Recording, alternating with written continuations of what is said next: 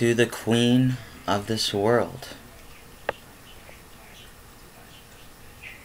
The stars close its corona, the moon blinks its eye, and when it opens, the cold light shines on Lilith, the creator of shadows, the thief stealing souls, abducting light, binding darkness and night.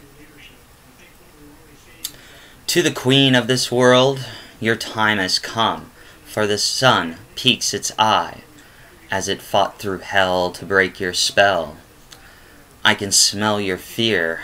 You panic to keep control, and that's how I know that the end has come to your spells, illusions, and delusions, for the sun is bright, and the moon hides in shades of blue, afraid of my might. I've revealed your name, so you can no longer cause pain. Darkness will fall and love will reign. The son of Hermes is here to take away your name. Your witchery is finished, because a new wizard is here to take your power away.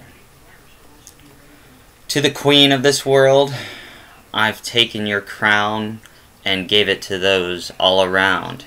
Your empire will fall, and your kin will be robbed of the birthright to your name, and you'll be erased so that the light can shine. The fish is gone, the water bearer is here, and the son of Hermes has made this clear.